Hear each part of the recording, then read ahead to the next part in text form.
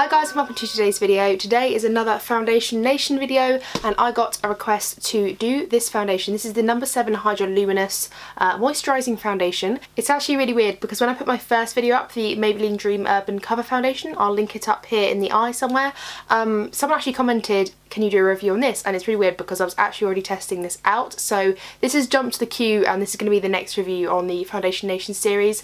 Um, like I said, the number 7 Hydraluminous Foundation, it came out, I'd say earlier this year. I want to say March is it March or is it more February time? I want to say like that time of year um, and it's only, I've only just come around to doing a review on it but I have fully tested this out to the point where I might need to buy another one.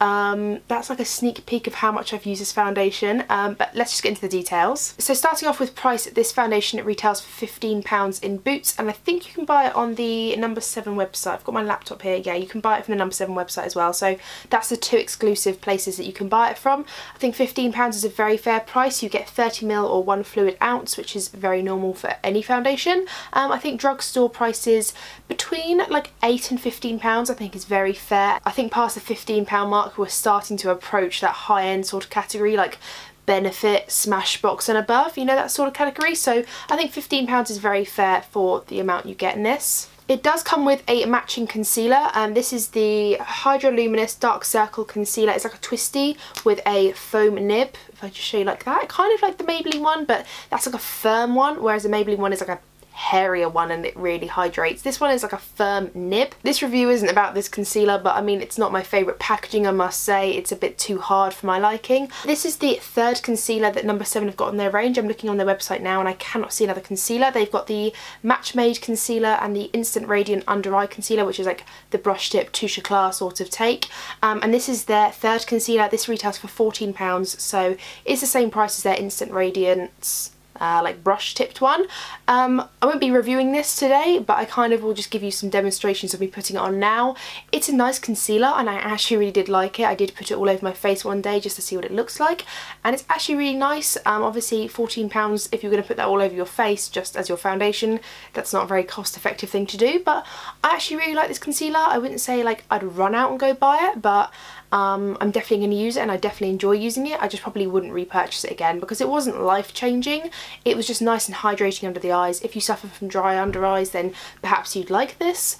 It was nice, nothing to write home about but equally like if I got presented this again I'd be happy about it. It's, it's a nice concealer, it's just not like the best, you know? So going back to the foundation, as you can see it's in a squeezy tube. It comes with like this metallicalized, metallicalized, metallic uh, lid and it just screws off like this to reveal just a squeezy flat tipped applicator. Just like the Maybelline Dream Urban Cover Foundation, this is not a see-through bottle. I don't know if the camera is going to focus. There we go. It's not a see-through bottle and you can tell just by like the crack here and in the nib. Even though it's not see-through, you can kind of get a good sort of idea of what the shade looks like. Personally, I think it's a pretty good shade match for what is on my face. Apart from that, I've got to say the packaging is pretty nice.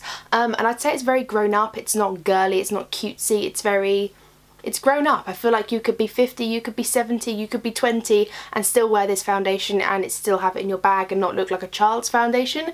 It looks nice and I think it's very grown up. It's very number seven, very on brand. I quite like it um, and that's pretty much all I've got to say about the packaging. It's just it's very nice. okay, so let's talk about shade range. There are 12 shades to this foundation. I'll put them up here for you now. Um, you're probably thinking 12? Who? What? 2019? What are we doing?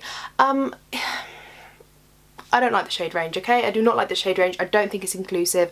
I don't think it's in proportionate. I don't think it's accurate at all.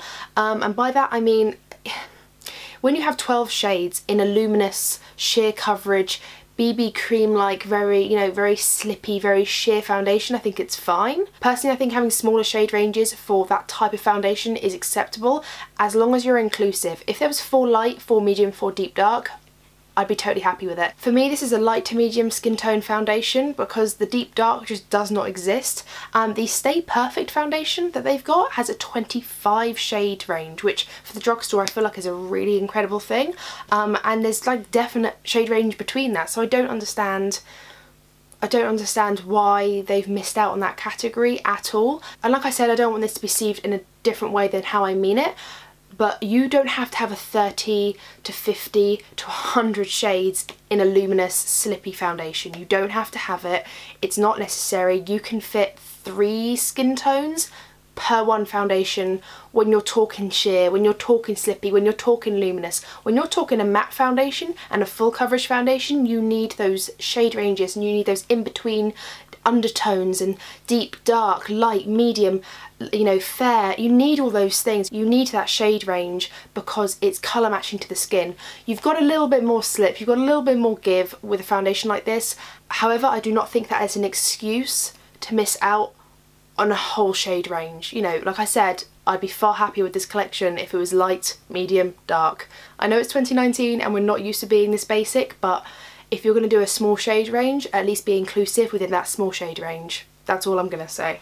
So the claims here in front of me say that this foundation is a visibly fresh and radiant looking skin in an instant and it provides an even better bare skin over time. This moisturising foundation gives a flawless natural finish and a healthy all day glow. Wear it every day and over time your skin looks fresher, healthier and more luminous. Skin loving ingredients include an active blend of antioxidants, vitamins A, C and E together with grapeseed oil to provide moisture. After four weeks use, 90% of people said their bare skin looked healthier, 90% of people said their skin felt more moisturised, and 84% of people said their bare skin looked brighter and it's suitable for sensitive skin. I think a lot of these claims are actually true to their word. Um, throughout using this foundation I definitely felt like my skin didn't feel dry. Um, some foundations do make me feel a bit, you know, like a bit, oh, kind of itchy and kind of like, oh, you want, you know, I, I, how, do, how do you describe that facial expression? Like just kind of tight, wanting to take my foundation off, wanting to take my makeup off because I feel like it's on my face after a while. This foundation didn't do that to be fair. I think they are true to what they say in a lot of the claims, so I don't think they've over-egged anything too much. It's definitely a moisturising foundation, it definitely looks plump, it definitely looks healthy on my skin. I feel like my skin looks great, I feel like it looks truly healthy and doesn't look cakey at all, and I definitely look for that in a foundation. And it obviously has skin-loving ingredients with A, C and E vitamins, and the grapeseed oil, which is known for being very moisturising moisturising. I think it's true to what it says. It's very moisturising, it's very plumping, it's very healthy looking. Um, I'm not sure if it made my skin look healthier and like better for it. I wouldn't really market this as a... I wouldn't market this as like a skin care ingredient or anything like that but I think it's definitely a better foundation for my skin than others have been. As far as application goes the buffing brush is on my left side and the sponge is on my right as you'll see on the screen. I think application was pretty equal both ways. I found that the foundation being blended in by the buffing brush came off a little bit streaky but it was definitely workable if like a stippling and then buffing approach was taken. And I think that's just because of the nature of the foundation. It's quite a slippy luminous foundation. So I kind of expected that from the brush. I think with the sponge it looks pretty nice and kind of the finish looked really seamless and perfect. But I definitely say you get more coverage with the brush than with the sponge. So personally for me I actually liked having the brush to kind of apply it all and then a sponge just to go over it to kind of flatten it all out. And I do like that with a lot of foundations in all fairness. Like I prefer to apply it with a brush get it all over my face first and then go in with a sponge so it's not taking away too much coverage it's just kind of finishing and polishing the face off nicely so that's how I like to apply it. As far as primer goes obviously I apply my moisturiser all over my face anyway and then I apply my primer on the right side of my face to show the difference. Again I feel like this foundation does not need a primer. Um, I found longevity wise it didn't make too much of a difference but in places where I usually lose my foundation like my jawline I found that the primer did help that. But in all honesty, I don't think you need a primer to make this foundation look good. I don't think you need, it's not a necessity. Um, I probably would recommend if you have got dry skin, just moisturising your face, I'd recommend that anyway. But I'd say it just makes the skin look nicer and when you're applying like a glossier foundation, just having a hydrated face just looks nice anyway. So personally for me, I don't mind either way. I don't mind the application of the primer or the moisturiser or both. I don't mind it. I think it, it's either or. I'm not here nor there about it. So yeah, just as a roundup, I do prefer to apply it with a brush and then kind of stamp over it with a sponge. Again, if I was in a pinch, I wouldn't mind if I didn't have either. I could kind of just use one or the other. I'm not really bothered and I'm kind of the same with the primer. I'm not bothered if I have it or not. It's very easy to use. It's a very easy, forgiving foundation. So with that being said, I'm going to roll the clip of my first impressions with the primer and wearing the foundation all day. Okay guys, so this foundation has been on now for eight and a half to nine hours and oh my gosh, it's beautiful. Like my skin just looks like skin. Obviously when you get up close, like this close, you can tell that I've got foundation on but from about here, which is the distance from which people will be, like you're not really going to get any closer than this. It looks so glowy and just so skin-like. This is like nearly nine hours. It's closer to nine hours than eight and a half. And I just feel like the skin looks so nice. Like my forehead looks lovely. Um, I have got highlighter on, so please ignore that. I did have a nap on this side, which might be why it's like patched a little bit. Um, but this side I didn't, and it looks lovely here. I mean, the nose, I did blow my nose, so it might be a little bit red here, but it's not bad. And between my eyebrows, you guys, look at this. So this is what it's looking like close up. It's not sitting into my frown lines, which is a big thing for me. Usually every foundation sits into those, so that's really cool. I'd say it's a medium coverage. Um, it's kind of got like a dewy finish, as you can see in the light there. You can see a little bit of texture, like pimples, things like that. Um, I am wearing the primer so the pores aren't looking bad but sometimes even with the primer sometimes pores can be a little bit exaggerated by different foundations but this is looking alright. Like I said, I did blow my nose, so ignore that a little bit. But to be honest, it's not looking it's not looking overly like crusty in there. Do you know what I mean? Um, and the under eyes are looking quite nice as well. The concealer's quite nice. I wouldn't say it's the best concealer but it's like quite a nice concealer. My chin is looking very normal. I've got a little bit of transfer here. I mean I did have a nap so maybe it transferred a little bit I haven't noticed the foundation slipping and sliding about. I didn't notice um, like hand on face or on my clothes or anything. So I don't think it's a heavy transfer. I just think obviously if you nap and it's going to get warm it's not completely transfer proof but it doesn't claim that so that's fine um, and it still looks nice it's not patched off ugly I just I can tell that it's patched off a little bit because I know I've gone for a nap um, on this side not on this side so I'm really enjoying this like this is really, really lovely foundation. It's just really looking nice. That concealer, mm, I sit on the fence with it. I think it's lovely. I don't think it's the best concealers. I'd probably say it's a better concealer for a more mature skin because it's quite thin. Um, it reminds me a little bit of the Maybelline Age Rewind, but a little, a little bit thinner. Um, but yeah, it's nice. I'm loving it so far. We're nine hours in. We're, we are nine hours in now. And it's looking just as nice as when I put it on, which is totally the goal with makeup, isn't it really? So really, really happy with how it's looking. So as you can tell the foundation looked pretty good all day with the primer. Now I'm going to roll the clip of the foundation without the primer after it's being worn all day. Okay so nine and a half hours in, nearly 10. Um, the foundation is looking pretty good. We have no primer on. I've got a spot right under there. It's like under the skin, you know the ones that haven't surfaced yet. Oh my god it's so painful and so red. So it's done a pretty good job at covering that all day. Like you can kind of see it but it's nothing really that noticeable. It's patched off a little bit here on my jawline but I think that's just where I've been resting. Um, I've been at work all day, so I think I've just been resting on my jaw a little bit, but it's looking pretty good. Remember, we have no primer on. I have layered other products like a highlighter, um, bronzer and blusher, so I have got all those other products on. But between the brows here, it's looking, I mean, it's, it's settling into fine lines a little bit, just here and here, but it's not really settled into anywhere around my mouth. Under my eyes do look a little bit dry, just an absolute smidgen. I need to do my nails absolutely horrific. Um, it's looking a little bit dry under my eyes, but I do have quite dry under eyes. But apart from that, I feel like it just looks quite natural. Like if you just ignore the uh, like the patchiness here, and you just like look at this cheek bit here, it actually looks alright. It looks really nice. I'm really enjoying this, and it's lasted a good amount of time, like 10 hours in an aircon environment. I'm pretty impressed. So obviously that being said, you can obviously tell that I really enjoy this foundation. I'll just talk about a few positives and negatives I found and my experience with this foundation. Um, good things is that it's glowy. I love it. It just makes my skin look so healthy and I feel like my skin doesn't look like a greasy hot dog glowy. It doesn't look like I'm sweating, but it just looks like I mean I am sweating but, but I just feel like it just looks really healthy and that my skin is really like natural and radiant without me looking too overly highlighted or overly sweaty. Some days I'd like to look matte but on a day-to-day -day basis I just like to look really natural and really healthy. It doesn't cling to dry patches and that's something that I really do look for in a foundation being a dry skin person as you well know.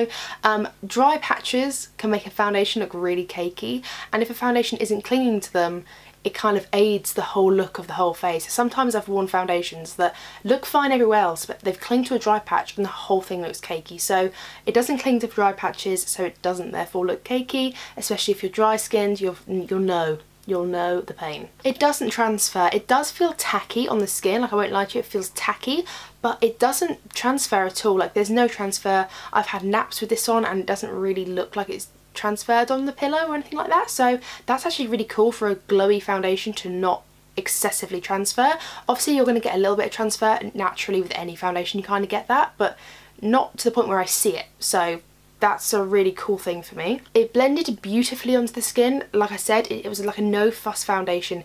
You could have had a brush, you could have had a sponge, you could have had both. You could have had a primer, you could have had moisturiser, you could have had none or both.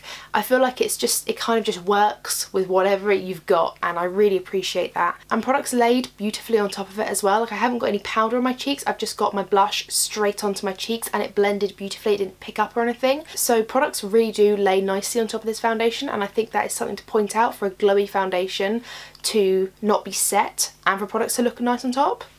I mean, I think it says a lot. Now, of course, with anything, there's going to be a few negatives, um, and there aren't actually a lot for this foundation, but the thing that annoys me the most is the shade range. Now, the nature of this foundation means that it doesn't have to be a 50 shade shade range, okay? I know I said in my previous video that it's 2019 and that 20 shades wasn't good enough, and 20 shades is just about good enough for a full coverage matte foundation. That's what the Maybelline claims to be, okay? So I don't want to think I'm changing my view on this, but when you've got a luminous foundation, it doesn't have to be an extensive shade range. You can make you can make one shade work for a few skin tones. That does not excuse the fact that a whole shade range has been missed in my view. Um, I'm really not impressed with 12 shades because I think it does have enough coverage to need more. I think even if this foundation had 15 shades, which is only three more than it's got, is still considerably low for this like day and age. But if those 15 shades were inclusive in the sense that everyone everyone was represented in categories, I wouldn't be so mad. I'd feel like at least, like, at least you're trying to hit someone in those categories. Do you know what I mean? Like I feel like you can definitely, you can always start somewhere and then bulk out. I feel like when you've missed a category completely, mm, I think it's obnoxious. I think it's obnoxious when you miss out a category completely and I'm really disappointed by number seven because I just didn't think that they would do that. Um, I know that they're not known for having the best shade range in the deeper complexions. I won't be oblivious to that, but I think for a new foundation launching in 2019, they've really, they've really missed the mark on that one. I feel like even a few, even a few in deeper shades would have been better. I mean, I'm the third from the lightest, so I feel like that's pretty that's pretty good usually like normally I'm the lightest or the second lightest so I feel like there's no excuse for having a complete lack of shade range on the other side of the spectrum. I'm, I'm not happy about it and it gets on my nerves because it's a really great foundation and everyone should be able to try it. So for those that aren't familiar of my Foundation Nation rules as such, I rate the foundation out of 5 at the end of each video. Um, of course this is just my personal view and this is just how I had the experience with the foundation and what I think. This by no means is probably good for oily skin people but I try to provide as much information as I can um, but of course I am dry sometimes normal depending on the weather so just know that I might be rating it but it might be completely opposite to what you would rate it with a different skin type. But this is just this is just my opinion okay? So a one star out of five would be bad, wouldn't recommend it for anyone, very unsatisfactory. A two out of five stars would be poor, wouldn't recommend it and it was below my expectations. A three out of five stars is it's fair, I would recommend it and it met my expectations as in it was as good as I thought it was going to be. A 4 out of 5 stars is a good and I can confidently recommend this foundation and it was above my expectations. And a 5 out of 5 stars is excellent, I'd highly recommend it, it was outstanding and you need it in your life. So what do I give my little pal over here, the Hydraluminous foundation by number 7? Well, oh my goodness, it, it irks me, it irks me to give this a 5 out of 5 stars, which is what I'm going to give it but it irks me to do so because uh, I love it so much like oh that shade range like number seven if you could improve on that shade range bring out five more shades bring out three more shades I don't care bring out something for our deeper darker girls out there I'd be like cool you know at least you've done something I'm happy.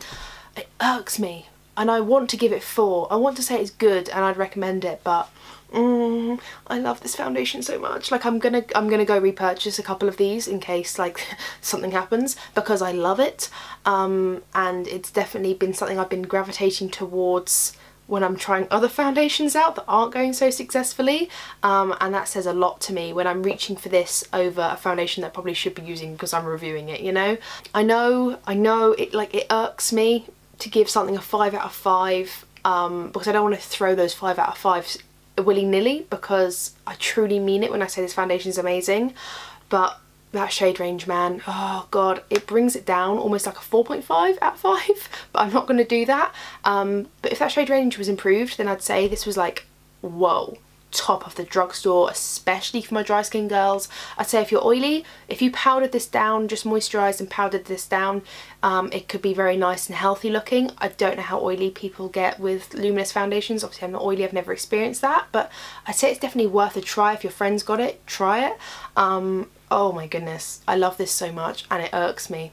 It irks me that the shade range is so bad because the formula is amazing for the price it's accessible oh, and it's just so fuss free it's just so fuss free so that's what I'm going to give it. 5 out of 5 stars. Hopefully you don't come with your pitchforks and fire um, at me because the shade range is so bad, but mm, that's what I want to give it. I'm sorry. I'm sorry. That's what I'm going to give it. So yeah, that's the end of this video. I've like broken out in red hot. Can you see how red my chest is? This is what happens when I get nervous and like scared. Look how red my chest is. Oh my god. Uh, yeah, sorry. I feel, I feel like people are going to hate on me for giving it 5 out of 5 with a shade range like that.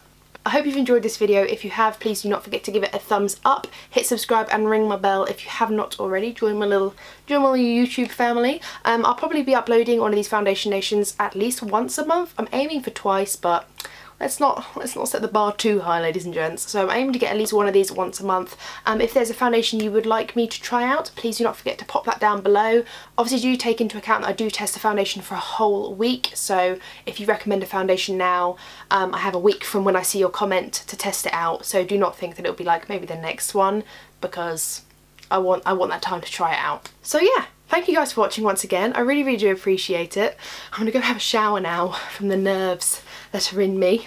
And I will see you in my next one. Bye. And then with a screw off bottom. Oops.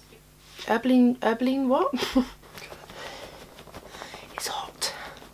It be, it, it. Why am I so nervous? Why am I so nervous? This is not normal.